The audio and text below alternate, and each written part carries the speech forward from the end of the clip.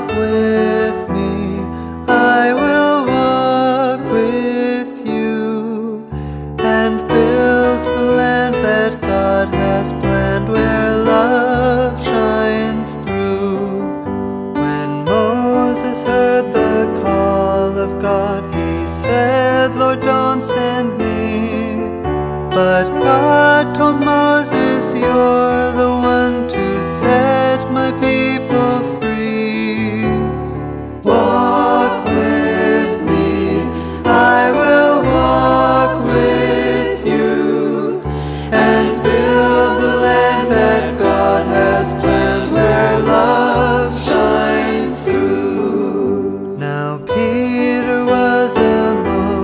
unlikely man.